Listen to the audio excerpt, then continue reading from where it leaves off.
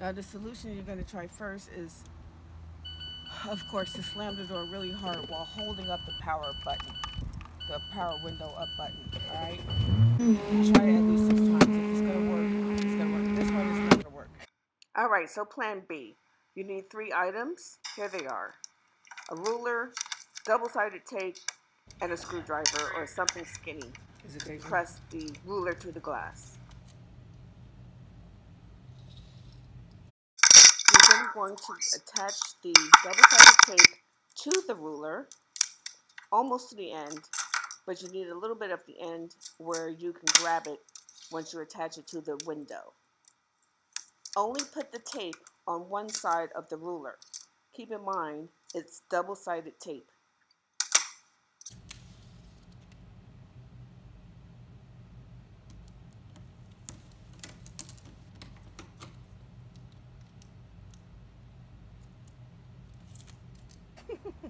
So we're going to do the next solution.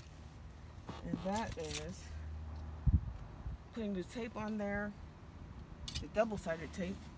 Then we're going to stick this down.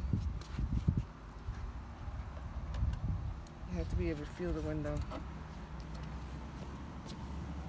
Seam helps as well. And it's right there. So the window's right here. It goes, it's a slope, but it's here.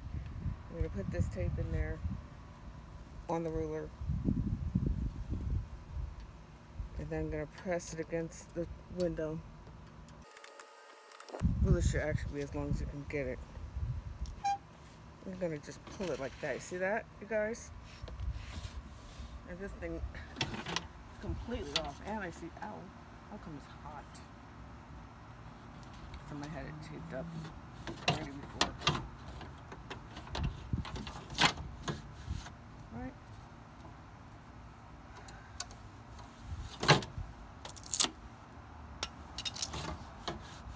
Go. You just tape it while it's in the up position.